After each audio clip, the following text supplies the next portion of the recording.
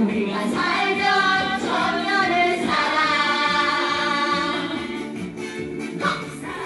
행복 꿈꾸며 백세를 향하여 멋지게 멋지게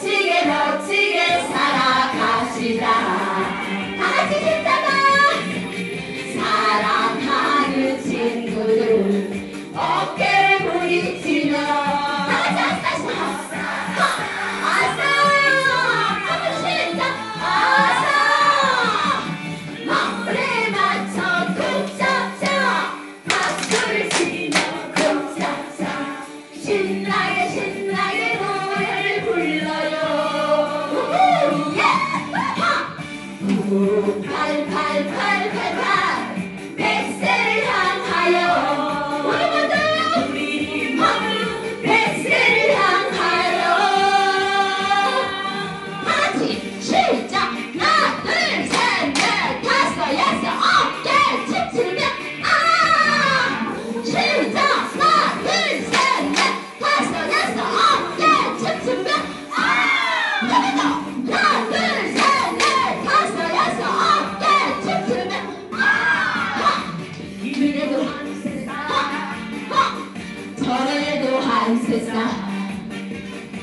우리가 살면 청년을 사나